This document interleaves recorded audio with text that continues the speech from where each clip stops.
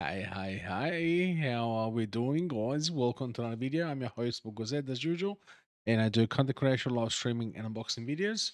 Today, we got a, another unboxing, and that's the Fifine K688, the USB XLR mic.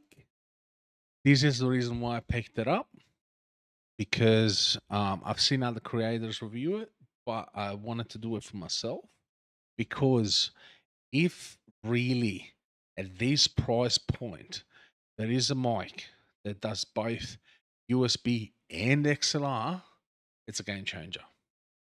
Without wasting any more time, grab a cuppa, find a comfy seat. Let's do this. There we are, guys. Okay, so before we go any further, let's go have a look at how it looks and what's in the box. All right. All right. So inside we have the booklet. It's only in English, but since we understand English, it's all good. Then you got a thread adapter for your microphone.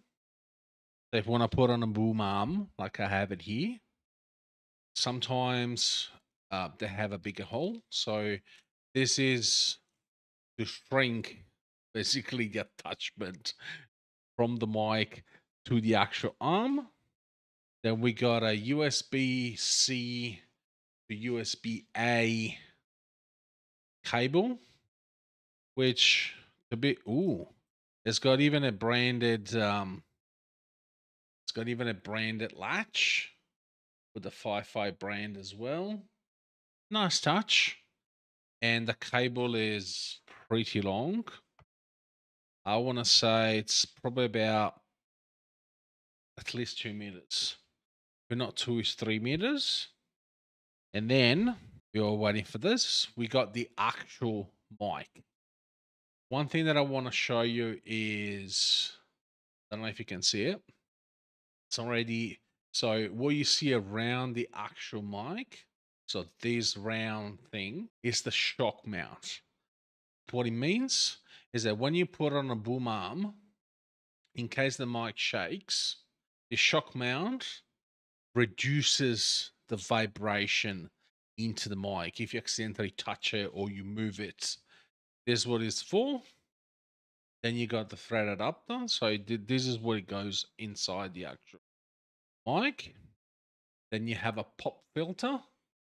You have on the top or the bottom, however you mount it, you have the mute button at the back. You have the XLR connection. Right, so you can see the USB-C. And then on this side at the top, you have the gain of the microphone. The gain is how much of your voice goes in, how much the microphone picks up, how much of the volume of your voice is picking up. And then you have a 3.5 millimeter jack right here to plug in your headphones. And then just below, you got the volume for the actual headphones so you can control if you want to listen to yourself. You should have no delay. We're going to try it in a moment. You can choose how much of the sound you want it to go in your ears. Pop filter is removable. As you can see, it reminds me a lot of the SM7B. No, if you've been watching me for long enough, I want to say no comment.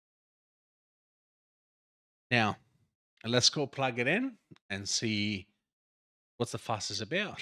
Alrighty, guys, this is how the Fifine K688 sounds right out of the box from about an inch, two inch away from your mouth. Um, ideally, you want to have it about three to four, so not too close, but not too far away and this is how it sounds. I haven't heard how it sounds yet. Uh, I'm gonna have a listen when I um, edit the video. But for now, this is how it sounds from a fair enough distance that you will keep it while having on a boom arm. This is how it sounds half arm length away and this is about an arm length away. So you can barely hear it, but this is how it sounds. How do you reckon? Do you reckon sounds good? Don't forget to let me know in the comments down below. While you're down there, don't forget to pop that like button. That way YouTube will share this video a lot more. And so I can help more people. Now, let's go have a look at how it sounds with the XLR. The ultimate test. How do you reckon this mic sound on an XLR? I don't know. I will see when I eat it. But this is how it sounds at a fair enough uh, distance away from your mouth. How you would keep it if you would be, you know, live streaming or making content uh, on a boom arm. This is about half arm away. I'm gonna do a full arm away because, as you can see, uh, it's not um, it's not ideal since I have it all connected to the boom arm. We'll see how it sounds. I'm gonna have a listen. Actually, I'm too curious. I'm gonna have a listen now, and then I will give you my uh, last opinion on the mic, if it's a game changer or not. Alrighty, guys. Final thoughts and opinion. Okay, so I had a listen. It actually sounds really good right out of the box. No effects applied. It sounds really good. So I think it's time to retire my Audio Technica AT2040. That's right. So we're gonna do. Oh, surprise! We're gonna unplug one and plug the other one, and we finish up like this. How does it? It sounds better, doesn't it? I still need to find the right adjustment. Um, but yeah, guys, doesn't it sound better? Okay, actually, there you go. Doesn't it sound better, guys? I truly believe so. Uh, if you want to pick up one for yourself, I will have a link down below that is connected to my throne. If you don't know what throne is, just click on the link. Um, it's basically it makes it makes my Amazon links um, looking a bit prettier. So you can see the picture, you can see uh, a little bit of informations. But yeah, I'll um, I'll put the link down below. It's an Amazon affiliate link, as I was saying. So if you decide to purchase, it won't cost you anything.